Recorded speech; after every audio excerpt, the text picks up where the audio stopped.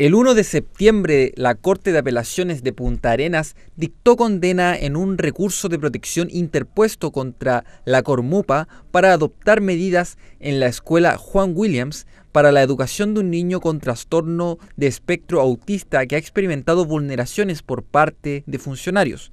La agrupación Te Abrazo denuncia que aún no se ha hecho nada.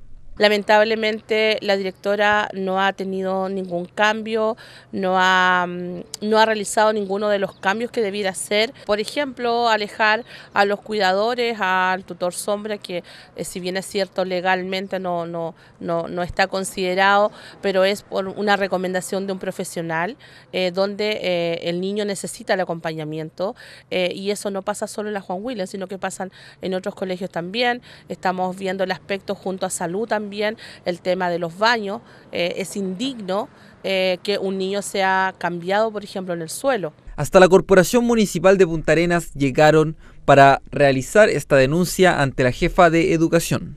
Hay muchas situaciones que ocurren al interior de los establecimientos que se manejan dentro del establecimiento, ¿ya? Y nosotros obviamente esperamos que no escalen más allá y que haya un tema de gestión interna, ¿no es cierto?, que permita la solución. Si esto genera, ¿no es cierto?, eh, de acuerdo también a orientaciones del equipo jurídico, eh, alguna sanción o alguna investigación al respecto, nosotros seguimos, ¿no es cierto?, las instrucciones que emane el equipo jurídico. Aseguran que es más de un año en que vienen ocurriendo estos episodios de vulneraciones y que existen más denuncias en otros establecimientos.